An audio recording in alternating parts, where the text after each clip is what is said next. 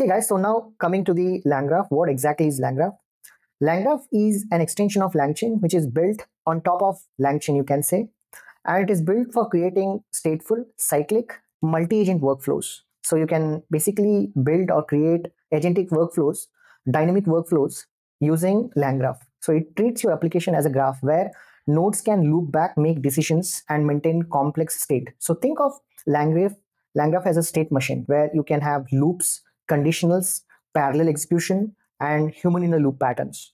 So LangGraph basically stands out as the most powerful uh, open source framework for building production ready AI agents and orchestrating stateful, complex, and cyclic workflows.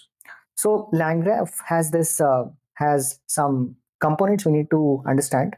Um, the first is nodes. Uh, nodes represent tasks that is calling an LLM, fetching data from a database, uh, and then come and then there are edges. Edges define the flow between the tasks, and then uh, come and then we have uh, state. Uh, state holds dynamic context. Example: messages, memory uh, that evolve um, that evolve during the execution. And here is a in the image, as you can see, here is a simplified workflow of an uh, email agent uh, that uses context engineering, and we are using LangGraph here.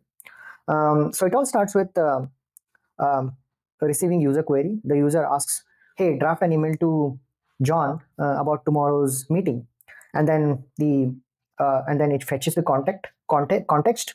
Um, it retrieves user preferences. Example like tone, uh, the grammar type to be used, the personality, and the calendar data.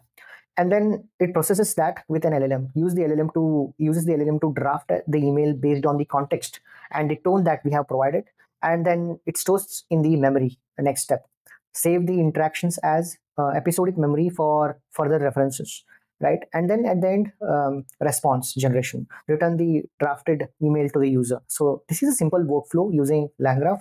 And uh, uh, let's see now how langchain and langgraph are basically different from each other